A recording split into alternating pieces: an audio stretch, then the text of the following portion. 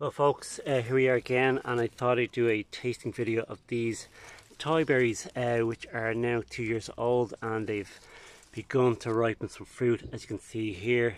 Now I have one here which is just a bit deeper red than these ones here.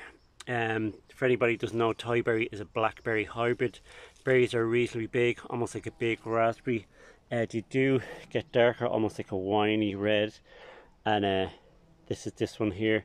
I think there are a few different cultivars of tayberries.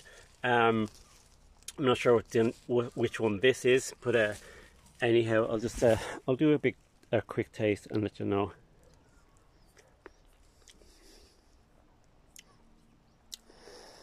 Quite nice, quite sweet, but quite tart.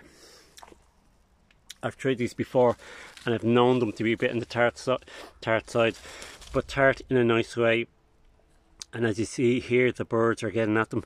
Um, luckily enough this bit here is a bit secluded um, and I have a grown up a pear tree here.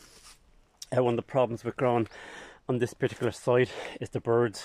Um, I have a currant bush here uh, Saskatoon there Saskatoon over there a few other currant bushes here and I've yet to pick a single berry off them even though they are putting out fruit because the birds are just so horrendously bad up here. They, they'll strip everything bare. Look at this here.